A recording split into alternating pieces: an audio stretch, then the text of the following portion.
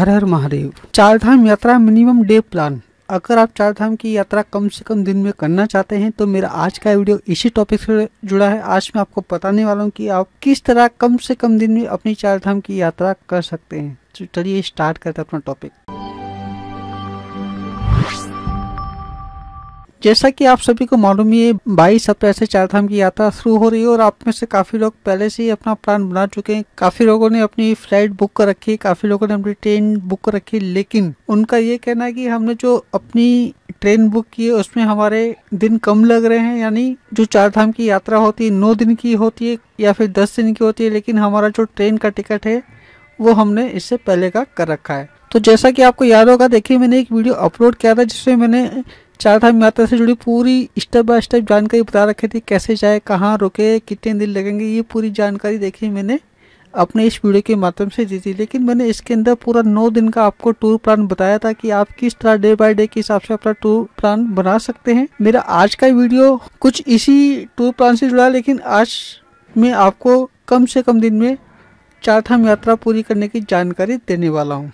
चार धाम यात्रा करने के लिए जो मैं आपको प्लान बताने वाला हूँ, वो मैं आपको हरिद्वार से बताने वाला हूँ। हर कोई हरिद्वार आके ही अपनी चार धाम की यात्रा स्टार्ट करता है। तो देखिए, जो ये मेरा प्लान रहेगा, ये हरिद्वार से रहेगा।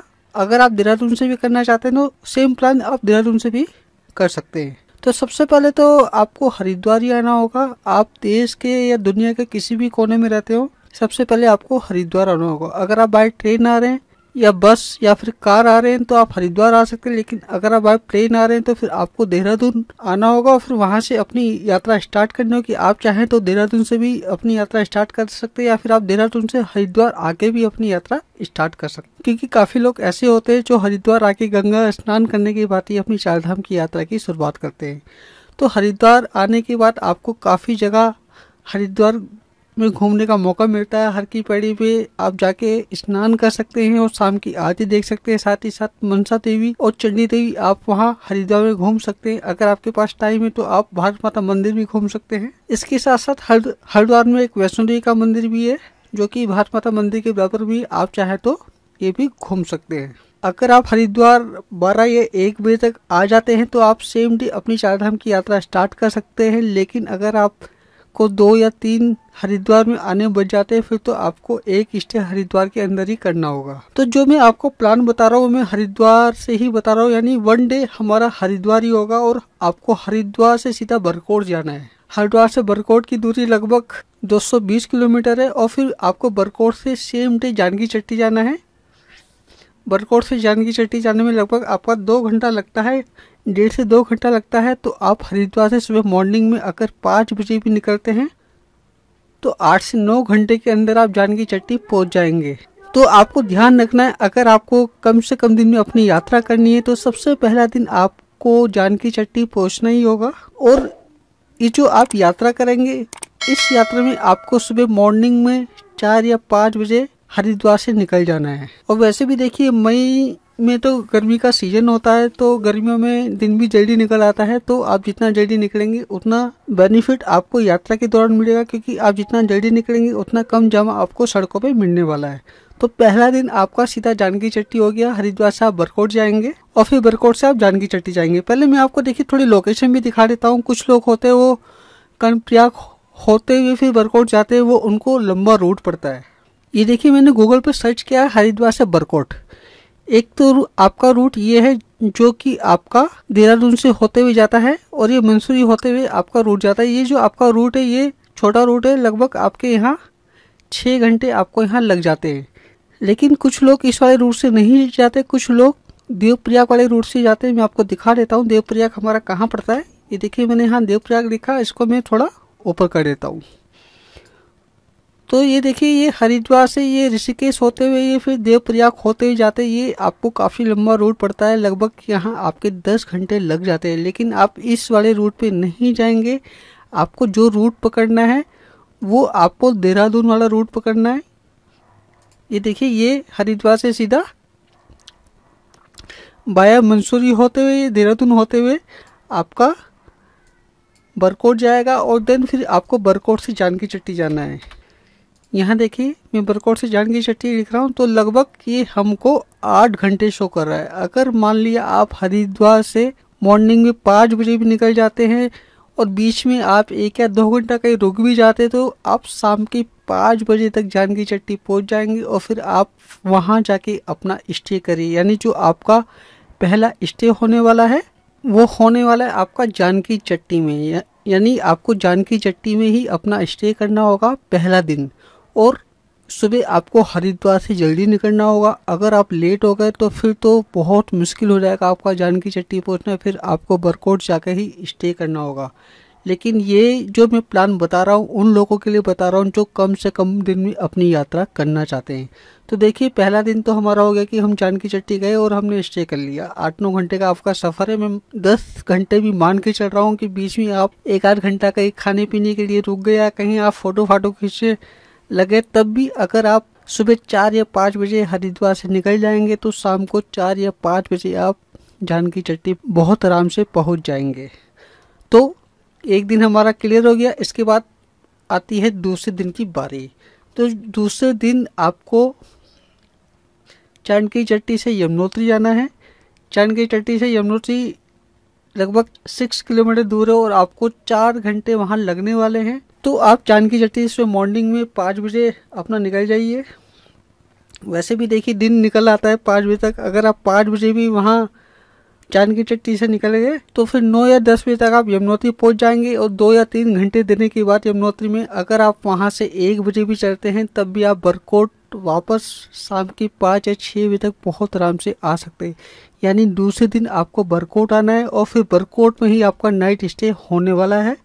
बरकोट में भी आपको देखिए जीएमवीएन के रूम मिल जाते हैं। जो जीएमवीएन के रूम है, वो आपको हर धाम में मिलेंगे, चाहे वो आपका यमुनोत्री हो, गंगोत्री हो, बद्रीनाथ हो, या फिर केदारनाथ हो, या फिर सोनप्रयाग बोलता सब जगह आपको जीवन के रूम मिल जाएँगे। इसकी बुकिंग किस तरह की जाती है इससे जुड़ा वीडियो मैं जल्दी ही अपलोड कर दूँगा।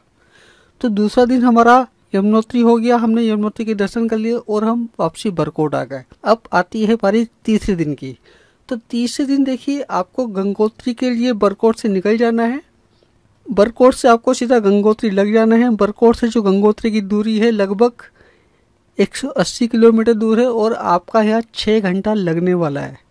तो आप जो तीसरा दिन है, बरकोट से सुबह मॉर्निंग में पाँच बजे निकलिए। आप बारह एक बजे तक बहुत आराम से, मैं एक बजे भी मान मान रहा हूँ। अगर आप बीच में कहीं रुक गए, फ़ोटो फाटो खींचने रुक गए, आपने एक घंटा बर्बाद कर दिया या कहीं आप जाम में फंस गए, तब भी आप गंगोत्री एक बजे बहुत आराम से पहुँच जाएँगे। अगर आप सुबह पाँच बजे निकलते, लेकिन अगर आप बरकोट से ही सात या आठ बजे निकले, फिर तो आप भूल जाइए गंगोत्री का विचार, फिर तो रास्ते में ही फिर आप कहीं जाम में फंसे होंगे। तो देखिए, कम से कम दिन में अपनी यात्रा पूरी करने के ज़रूरी आपको सुबह मॉर्निंग में जल्दी ही निकलना होगा, तभी जाके आप सही टाइम पे सही धाम पहुँच सकते हैं, वरना फिर आपका पूरा जो प्लान है, वो पूरा का पूरा प्लान बिगड़ जाएगा। तो तीसरा दिन हमारा गंगोत्री हो गया। अगर आप दो बजे भी गंगोत्री पहुँच गए तो आपके पास बहुत टाइम होगा। गंगोत्री माता के दर्शन करने में और वहाँ काफ़ी ज़्यादा टाइम बिताने में आप चाहें तो वहाँ स्नान भी कर सकते हैं। काफ़ी लोग वहाँ जाके स्नान करते हैं नदी में। आप चाहें तो स्नान कर सकते हैं। शाम की आरती देख सकते हैं। तसल्ली से आपको दर्शन होंगे, क्योंकि गंगोत्री ऐसी जगह है जहाँ काफ़ी कम लोग रुकते हैं। लोग अक्सर उत्तर काशी आके रुक जाते हैं, लेकिन आप गंगोत्री में ही अपना स्टे करिए। गंगोत्री में आपको बहुत आराम से जी के रूम मिल जाते हैं। जी के अलावा वहाँ आपको लोकल जो वहाँ के हैं, होटल और धर्मशाला, वो भी बहुत आराम से मिल जाएगी। तो गंगोत्री में आपको किसी भी तरह की रहने में कोई परेशानी नहीं आने वाली। तो तीसरा दिन जो हमारा है, वो गंगोत्री हो गया। अब बात आती है चौथे दिन की। तो चौथे दिन में देखिए, अक्सर लोग क्या करते हैं, गंगोत्री अपना टाइम ज़्यादा बिताते हैं, उसके बाद फिर वो वापसी उत्तर काशी आ जाते हैं।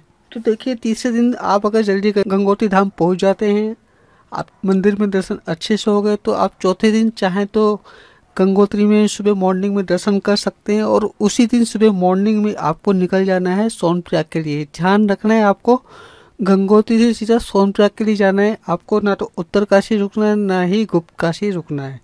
अब बात आते है कि आखिर गंगोत्री से सोनप्रयाग की दूरी कितनी है? तो देखिए, गंगोत्री से जो सोनप्रयाग की दूरी है, लगभग 317 किलोमीटर की दूरी है। मैं आपको गूगल पे करके दिखा देता हूँ। यहाँ देखिए मैंने गंगोत्री लिखा है और यहाँ सोनप्रयाग लिखा है। तो 317 किलोमीटर लगभग आपके साढ़े ग्यारह घंटे कंटिन्यू लग रहे हैं। अगर आप मान लिया बीच में कहीं रुकते हैं, एक या दो घंटे के लिए आप कहीं रुकते हैं तो आप 12 से 13 घंटे मान के चलिए। तो लगभग हमारा ये वही रूट है जो आपको सोनप्रयाग से बद्रीनाथ जाने में टाइम लगता है। सेम आपका ये वही रूट है। तो आपको चौथे दिन गंगोत्री से सीधा सोनप्रयाग के लिए निकल जाना है। अगर आप गंगोत्री से सुबह पाँच बजे भी निकल जाते हैं तो आप लगभग शाम के सात या आठ बजे तक सोनप्रयाग पहुँच जाएँगे। सपोज़ करिए, मान मान लीजिए, अगर आप सोनप्रयाग नहीं भी पहुँच पाए तो आप सेम डे चौथे दिन गुप्त काशी तक पहुँच ही जाएँगे और गुप्त काशी से सोनप्रयाग जाने में लगभग आपका एक से डेढ़ घंटा लग जाता है। तो मैं तो आपको देखिए यही सजेशन करूँगा कि आप चौथे दिन सीधा गंगोत्री से सोनप्रयाग के लिए निकलिए, जिसमें आपका मैं मान के चल रहा हूँ बारह घंटे लगने वाले हैं। वैसे भी देखिए गर्मियों का टाइम है, सुबह मॉर्निंग में जल्दी दिन निकल आता है और जो दिन होते हैं काफ़ी लंबे होते हैं। अगर आप पाँच बजे भी गंगोत्री से निकल जाते हैं तो आप बहुत आराम से शाम के आठ बजे तक में तो आठ मान के चल रहा हूँ, मैं पाँच नहीं मान रहा हूँ, आठ बजे तक आप सोनप्रयाग पहुँच जाएँगे। आपको किसी भी तरह की कोई प्रॉब्लम नहीं आने वाली है। तो ये जो हमारा मेन चौथा दिन है हमने इसी के अंदर अपना प्लान कम कर लिया है। अब देखिए चौथा दिन हमारा हो गया है। चौथे दिन देखिए आप चाहें तो गु, गुप्त काशी पहुँच सकते हैं लेकिन अगर आपके पास टाइम है तो आप सोनप्रयाग पहुँचने की कोशिश करिए क्योंकि आपका बहुत ज़्यादा टाइम अगले दिन बचने वाला है। तो हमारा देखिए एक नाइट स्टे या तो आपका सोनप्रयाग होगा या फिर आपका गौरीकुंड होने वाला है। तो फ़िलहाल तो देखिए मैं अब आपका नाइट स्टे सोनप्रयाग की मान की चल रहा हूँ और सोनप्रयाग में भी आपको देखिए जी मेन या फिर नॉर्मल होटल बहुत आराम से मिल जाते हैं, लेकिन वहाँ थोड़े अगर आप होटल लेंगे तो थोड़ा आपको महँगा पड़ेगा।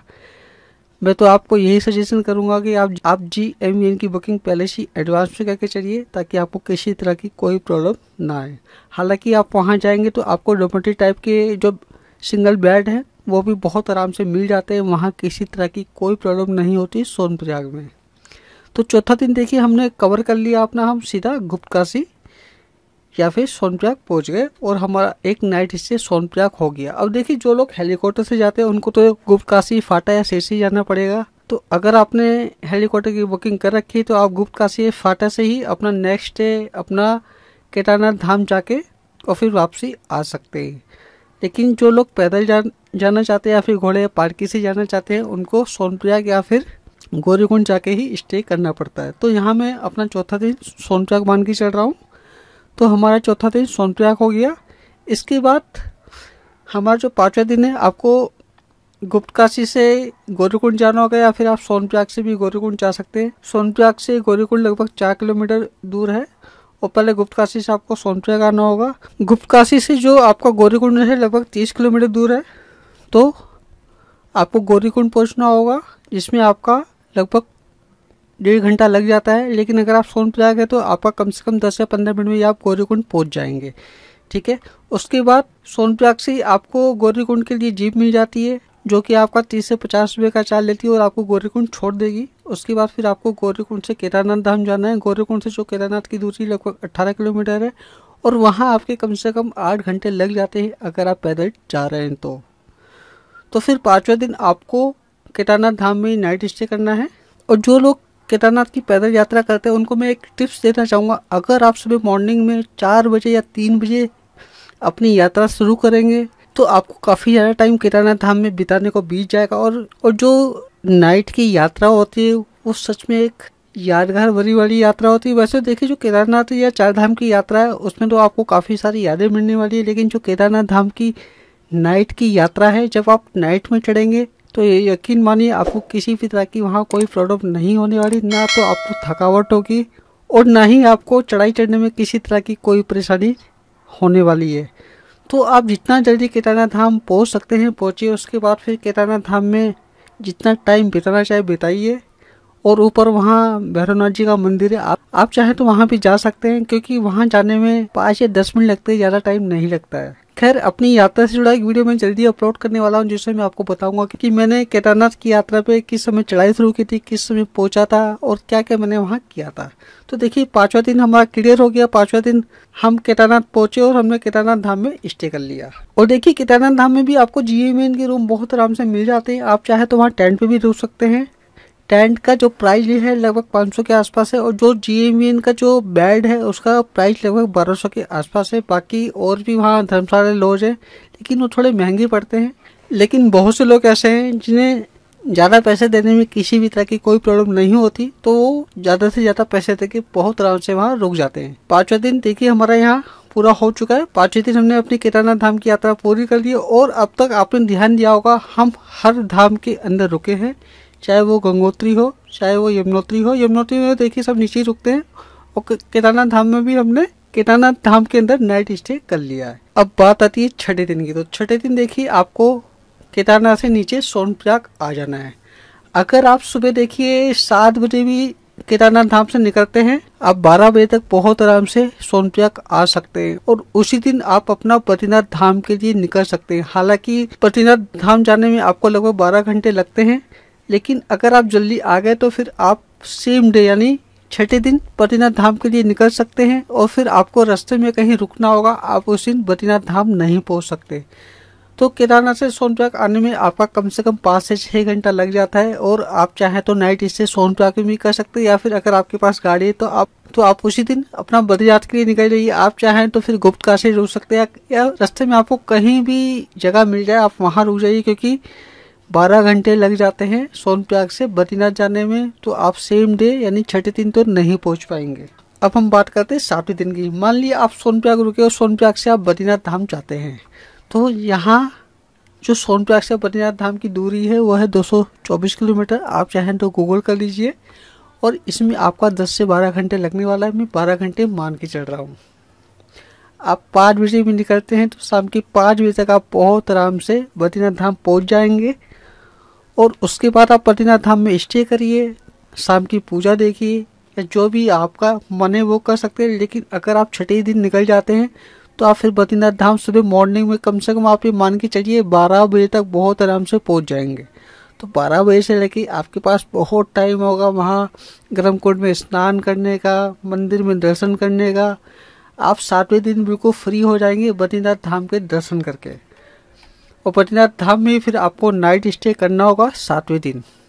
यहाँ भी हम नाइट स्टे बद्रीनाथ धाम में करने वाले हैं। अब तक हमने अपनी यात्रा के दौरान हर स्टे धाम में किया है। हमने किसी भी धाम में स्टे को मिस नहीं किया है। तो देखिए, सातवें दिन हमारा बद्रीनाथ धाम हो गया। बद्रीनाथ धाम में भी आपको जी एम के रूम मिल जाते हैं। आप चाहे तो होटल बुकिंग कर सकते हैं। मैंने ऑलरेडी इसका एक वीडियो अपलोड कर रखा है, जिसे मैंने बता रखा है कि आप मंदिर के पास किस तरह रूम बुक कर सकते हैं। वो सारे की सारी वीडियो मैं आपको ऊपर आई बटन में क्लिक करके दे दूँगा। आप अपना वीडियो देख के ऑनलाइन बुकिंग बहुत आराम से कर सकते हैं। इसके बाद देखिए हमारा आठवां दिन। आठवें दिन आपको सीधा बद्रीनाथ से हरिद्वार आ जाना है। बद्रीनाथ से जो हरिद्वार की दूरी है, लगभग 312 किलोमीटर है। आपने देखा था हमने गंगोत्री से जब हम सोनप्रयाग करते हैं तो 300 से ऊपर की हमको वहाँ किलोमीटर मिले तो और मैंने उस टाइम बोला था कि ये जो आपकी दूरी है लगभग, वही दूरी है जो कि आपकी सोनप्रयाग से होती है बद्रीनाथ के लिए। लेकिन आपको यहाँ बद्रीनाथ से हरिद्वार की भी सेम ही दूरी मिलने वाली है, और लगभग आपके नौ से ग्यारह घंटे यहाँ लगने वाले हैं। अगर आप बद्रीनाथ से सुबह पाँच बजे भी निकल जाते हैं तो आप शाम के पाँच बजे तक बहुत आराम से हरिद्वार पहुँच पाएँगे। अगर मान लिया आप बारह बजे ही पहुँचते हैं, तब भी आप लेट नाइट हरिद्वार पहुँच सकते हैं और फिर नौवे दिन जो भी आपकी ट्रेन है, उसमें बैठ के आप अपने घर को जा सकते हैं। तो हरिद्वार में देखिए, आपको यहाँ किसी तरह की रहने में कोई प्रॉब्लम नहीं आने वाली। काफ़ी होटल काफ़ी होटल काफ़ी धर्मशालाएँ जहाँ आपको सोने की सुविधा मिल जाती है।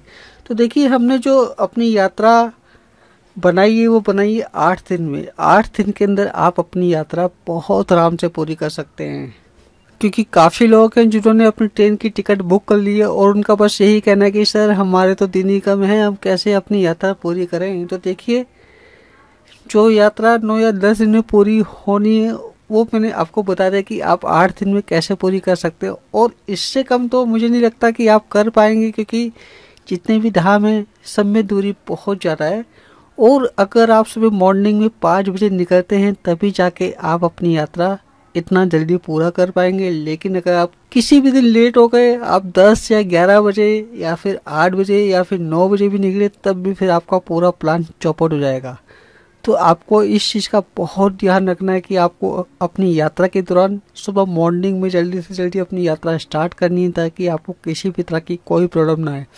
बाकी अगर आपको यात्रा से जुड़ी किसी भी तरह की कोई जानकारी चाहिए या फिर आपको बुकिंग करवानी है, अपनी बस की या गाड़ी की या फिर पंजीकरण करना है तो आप मुझसे कांटेक्ट कर सकते हैं, मैं आपकी पूरी सपोर्ट करूँगा आपकी हर तरह की समस्या के समाधान के लिए। तो आज के लिए बस इतना ही। हर हर महादेव।